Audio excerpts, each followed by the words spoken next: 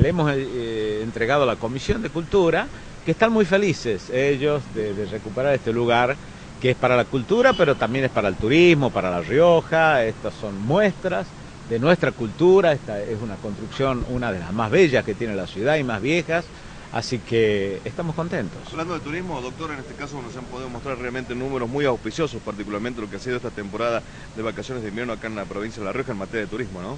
Sí, sí, mire, por primera vez a mí me hacen mensajes, por ejemplo, dueños de restaurante.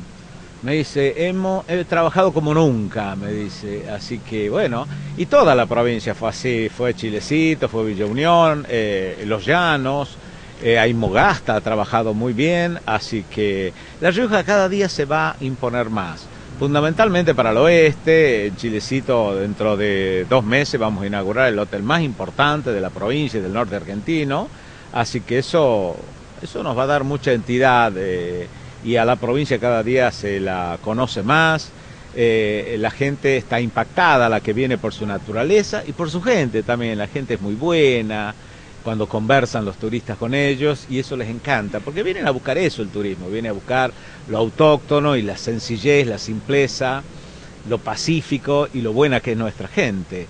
Eh, cuando se van por la cordillera, se van por el Famatina, se van por Cuesta Miranda o se va por, por los llanos, realmente van por Aymogasta, por la costa, Sanagasta, en fin, toda La Rioja es visitada y, y, está muy linda. Estamos muy contentos realmente de ver esta obra, que hemos ido viendo todo el proceso, acompañando aquí a la arquitecta Valeria Soriano, que ha estado al frente de, todos los trabajos que se han desarrollado, y hoy, bueno, eh, celebrando esta reinauguración de la sala, una obra realmente hecha con ciencia, con, mucha dedicación y bueno, lo pueden ver, ¿no? Pueden ver la restauración de la carpintería, de las butacas, que son parte de la, de la, de, la casa, ¿no? De la casa que también tiene su historia, que tiene su trayectoria.